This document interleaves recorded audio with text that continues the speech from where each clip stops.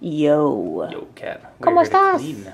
Clean? Dirty grinder. Eh? These are my favorite videos. These are? Yes, I love the taking apart, cleaning, getting them back together again. The most important step. The most important step. Did you bring your Orbitz gum? A product line exactly. So this is the Rancilio KRYO, and you're going to just show me how to take it apart. Yep, we've been using it. Um, we're gonna really just show you how to get inside, kind of, kind of clean out those uh, burrs a little bit. Okay. Um, left it a little dirty in here, so we can show that whole thing. That'd be Um, better. You know, the, the real question, I, I know a lot of us, we have shop vac around here, so it's very easy. A lot of Mm-hmm. people don't have a shop vac, so um, you could do it the dirtier way, just empty everything out. Yeah. Um, go grab that little, little air canisters just to kind of spray it. Okay. Um, really what we're trying to do though, so these things can just get dirty. Um, Mm-hmm. Espresso's oily, it gets nasty. Um, we don't really see it very good here because this one's not been in production, but if you go to a regular cafe, you're going to see these oil stains Around the. all the way up and all the way up. Okay. So we want to make sure we want to prevent that because that's just nasty. Um, so the first thing I'm going to do is just get all this stuff out of here. Mm-hmm. Um, little shop vac, like I said, I'm cheating. So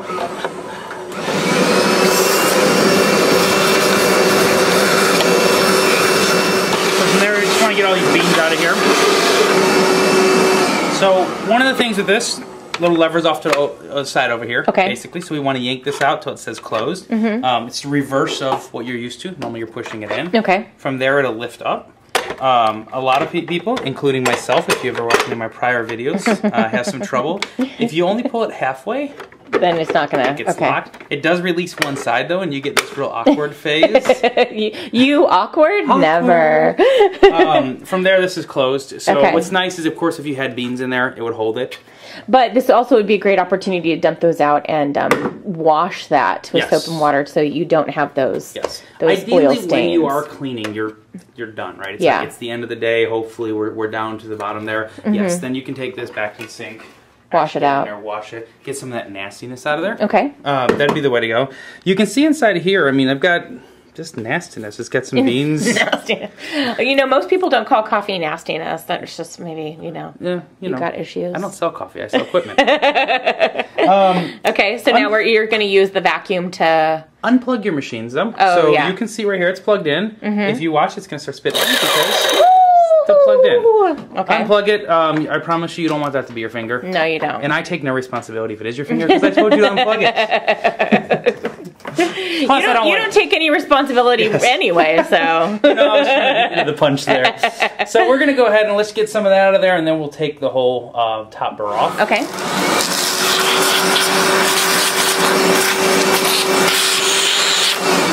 If you don't have a shop vac here, there's not really much you're gonna be able to do to save yourself from um, messiness. Okay. Um, you will need a couple tools for this. We will need a screwdriver. Take off this right here. So that's just a little adjuster knob. Yep, this is a little micro adjuster, um, but there's no way to get the actual top burr off Unless you remove it. Okay. Luckily, it's just a nice little easy screw. If I can keep that centered, it'll actually come out of there one of these days. Okay. Um, so you can see right there, just a little screw that comes out. From there, Okay. it's no different than any other grinder you've really dealt with in this class. Okay. You don't just have to take off unscrew this it? adjuster. Okay. Um, I would recommend doing that loosening at least towards the end because Mm-hmm. you are going to have to reset that once you're done cleaning it. Okay. Lots and lots and lots of different screwing coming out of here. It takes forever. Make some noises. Don't worry, that's perfectly normal. Make some noise. Okay. And then we're out. Cool. So once we're inside of here, you can see how much just kind of gets all through here. Yeah. Now we have not been really using this this much. Okay, we, we've put a couple pounds through it, but, But nothing it, like a yeah. couple hundred pounds, five hundred pounds that people are going to put through. Mm-hmm. And that's already what happens when this stuff sits in here for that long. When you do two hundred pounds and you haven't cleaned this Mm-hmm. thing, that's just going to start solidifying. It's going to harden inside of there. Eventually, it's going to start affecting your grind a little bit because it's going to overgrow. You can see how it sticks like that. Yeah. It's gonna start overgrowing, and you're gonna see you'll see in some where it's so it's like this hard gelatin, Oh. and it and it and it funnels them down. So then we're not gonna be able to be using the outside of these burrs. I see. okay. Um. So for right now, obviously, and here's why again you want to unplug it because my finger's down inside of here. Mm-hmm. Um. But yeah, you can see how much just kind of gets inside of there. Okay. So, So- another another vacuum Yep. trip. And here is where, of course, you could, if you just had the little air canister, you can actually get that out. Okay. Take a little. I don't know if you can hear me. take a little uh, brush, or I mean, even if it was a Paintbrush or- screwdriver, yeah. or just anything to kind of get in here, because we want to make sure we're loosening. You can see how even just doing that right there, Yeah. my vacuum didn't get everything. So you want to get down if you can while you have this.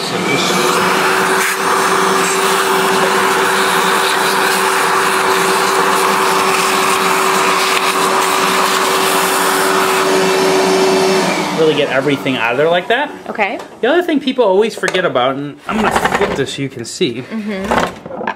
this little chute right there. Okay. That is the un, it's just a forgotten part. Okay. Again, right That's now, where, but it's the most important part because that's where the coffee exits. that's where your coffee's coming out of. So you can actually see it underneath here. Um, I don't know if I can. No, I can't. okay. Um, but you that that's that when you hear the hold back, all that chamber. Yeah. It's about from here to here. Okay. And so ideally, we want to try to get as much of that out because that's the same theory is that you're going to start constricting that if it starts hardening. Yeah. Um, and, and it's just not a very pretty thing. And uh, and so it's going to impact the the flow rate of your dosage and all that kind of stuff. everything, which impacts the grind as well, because Yeah. everything is based on that flow rate. Got so it. if you have anything, a little small screwdriver just like this, just to kind of knock that out. Um, hopefully, if you're using something like grinds, you actually won't be seeing too much, in the way of of hardened. Okay. You'll always see this because as soon as I start it back up, you're going to have it. Mm-hmm. And most of that's just going to exit right out from underneath here.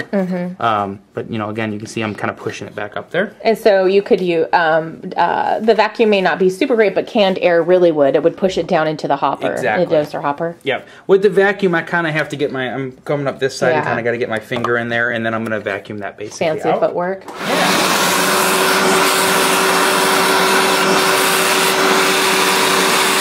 So you- Okay. You, can see even still inside of here. I mean, you know, this this is really what we want to get to. So this, Mm-hmm. it takes a minute or so, but I mean, you can see how it's still kind of just built up just a little bit right there.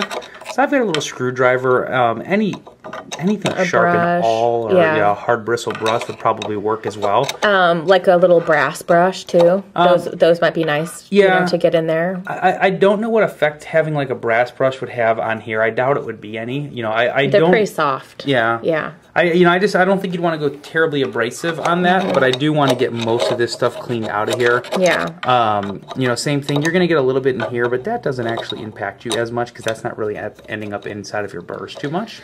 Now, um, uh, so regularly you want to actually um, uh, pull that bottom burr up too, right? So how often are you doing this kind of extensive cleaning? Um, the always, always answer is is the more the better. Um, Okay. I'd, I would like if you're doing this here. I mean, once every week or so, Okay. just for getting these out, not necessarily taking your The full burrs burrs apart, off, but just getting in there like Yeah, this. Okay. but just getting in there and cleaning like this. Um, what about taking the burrs off and cleaning underneath them? taking the burrs off and cleaning underneath them is uh, more of a question of your uh, your ability. Okay. I think um, it, it is important. There is stuff that gets because again, you can even see right here. See how much is just right there. That's going to eventually end up underneath. Okay. Um, so ideally speaking, yes, and we we've on a couple of these grinders we've ran you through doing that, taking off these burrs. And it's really just about taking up those screws and Yep, cleaning underneath and then replacing them again. Exactly. It's taking these off here. Same thing in here. Inside of here, all you're going to have to do is just brace this. Okay. So you put something in to lock it like that, and then you can Take actually pop the screws. Um, and so that's maybe every few months if you feel like technically you're you're capable. if, if you're okay with doing it, um, it, it doesn't hurt it one bit. The only Okay. real fear is stripping out these screws. Okay. Um, and these screws are a lot harder than you think to find. You're not finding them at your normal, No. uh, at your Ace Hardware or anything like that. so Okay, so, that's take care with them. That's the only real fear. That's the only reason I say that. Inside of here, though, when you are inside, you should always be checking. Okay. Okay. You got to remember, and I know there's no way on YouTube for people to kind of feel this, but there is a sharpness to this. Yeah. Uh, you can even, if you hear my finger. Mm-hmm. You, you can hear that. If it was dull, it really I would have nothing to grab onto. Okay. Um, you know, in general speaking, I, I kind of always start on the outside. So I'll run my finger out here because that's the first part that's going to go away. Mm-hmm. That's gonna get ground down, Yep. basically. Okay. And these are brand new burrs, so this is still very sharp even on the Mm-hmm. outside. Okay. What you'll find is it's going to start progressively getting duller and duller. So that'll be dull, then I'm coming into here and it's dull. By the time I'm in the middle, and it's dull, that's when we want to replace it. Okay. It's roughly going to be 11, 1200 pounds.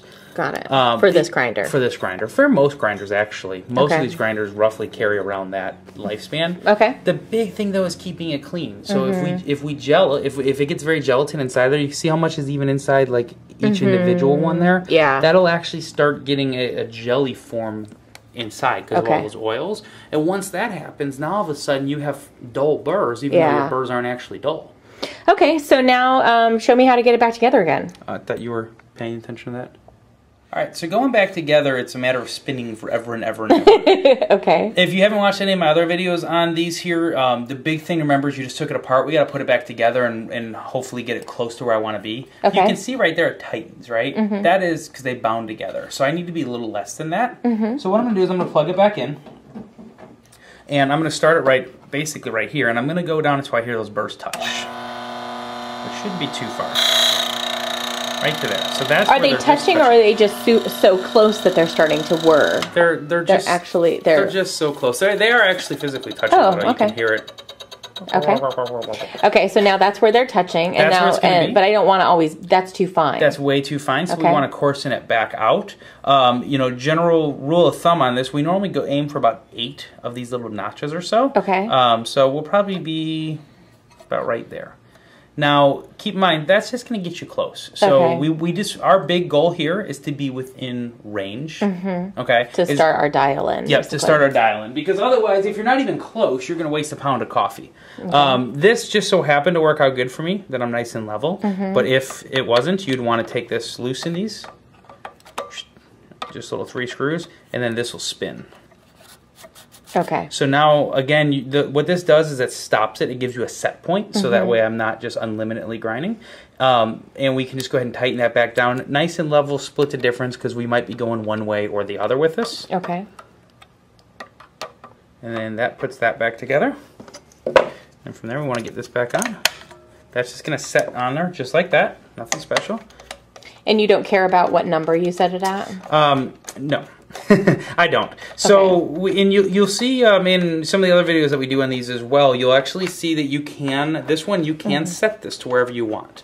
So you can actually, you don't have to always just put it back on blindly. I can start off at a zero point. Okay. Again, it just because I can, right? If I set it to a zero point and start it like that, where I'm zero in the middle, Yeah. um, it doesn't still doesn't mean anything. A number on all these grinders is still just a reference point. Yeah. So it's so that you know that you had to spin it five rotations. And so you know where it's at. When you come to it each day, you're like, oh, it's at 24 today. Now, you know, a little bit more humid. Maybe I'll take it to 26 or something like that. Yep. So that it's just all reference point. But if it makes you, if it's easier on you to Yeah. start at a zero to know where my reference is, Okay. you can make that change. Cool.